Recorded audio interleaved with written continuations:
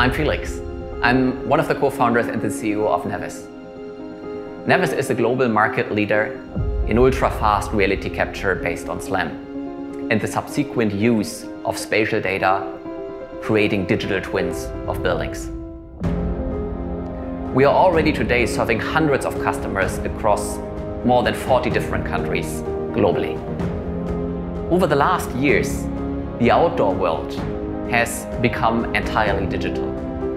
Drones and satellites are scanning every square meter of the outdoor world and turning the data into applications like maps and Street View that themselves become the infrastructure of entirely new industries like ride-hailing, grocery and food delivery, or in the future autonomous driving. At NavVis, we have rebuilt this entire technology stack for the indoor world. And as a first step, we have made reality capture two orders of magnitude more affordable.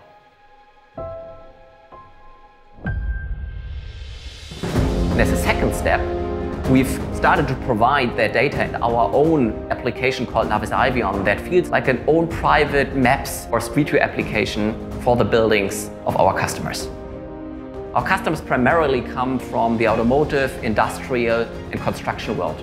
And they use the digital twins and the spatial data that we are creating to optimize their processes, ranging from planning to operations, repair and maintenance, to continuous improvement.